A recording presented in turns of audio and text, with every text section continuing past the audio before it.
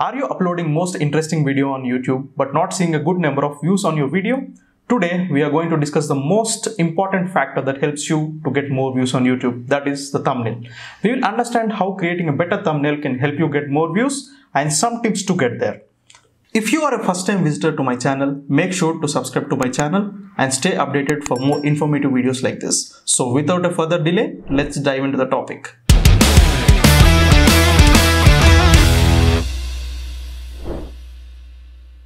Firstly, let us understand the views funnel. Number one, you publish a video on your channel. Number two, YouTube suggests your video to the audience through different features that YouTube offers, basically the impressions. Number three, viewer clicks on this video to watch it.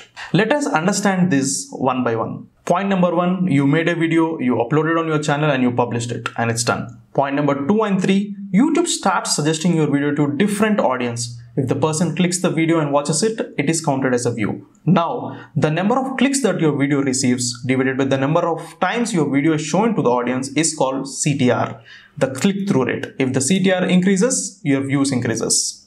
Now, how do we improve this CTR?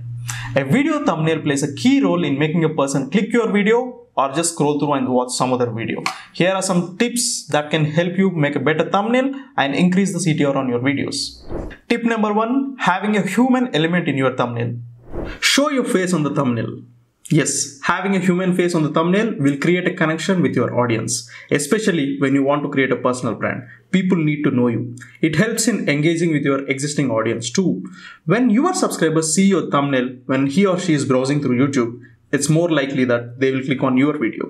Say no to stock images as they lack connectivity between you and your subscribers. There is a chance that many videos have the similar thumbnail and you lose the opportunity to get more clicks. Tip number two, having a title in a bigger font. Having a clear title will help the audience understand what is the video about. People watch videos on different devices like computers, mobiles, tablets, etc. Have a font size that is optimal for all the devices.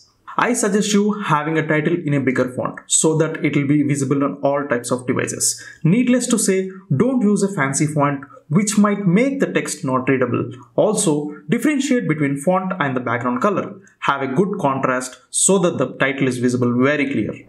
Tip number 3. Appropriate messaging.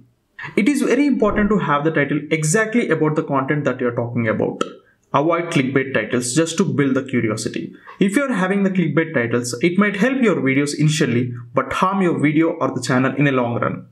Remember, the audience can always report to YouTube if the YouTuber is misleading the audience with a title that is not relevant to the content.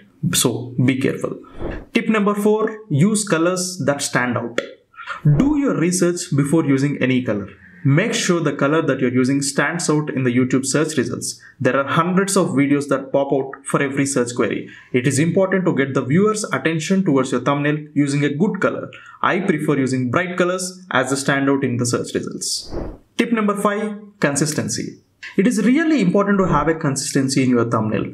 There should be consistency in your thumbnails such as layouts, font size and style, color scheme, etc. In case you are crafting a series of videos, following the same style in all the videos would be the best option so that the audience recognize your videos while scrolling through many other videos.